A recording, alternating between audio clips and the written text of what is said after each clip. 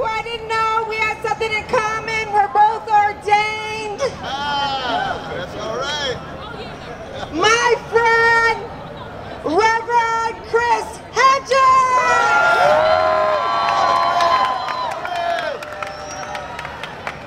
Let me tell you what they're thinking up in the Wells Fargo Center. They're scared.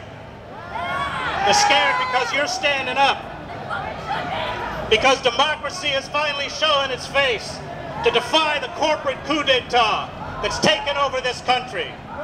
Because the propaganda that they spin out, the lies, the use of a security surveillance state is crumbling in the face of resistance, and you are that face. There is a Democratic convention taking place in Philadelphia, but it is not in the aptly named Wells Fargo Center. It is here on Broad Street.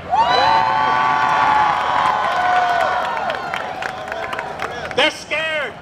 They're scared because they know how corrupt and gamed and rotten the system is better than any of us do.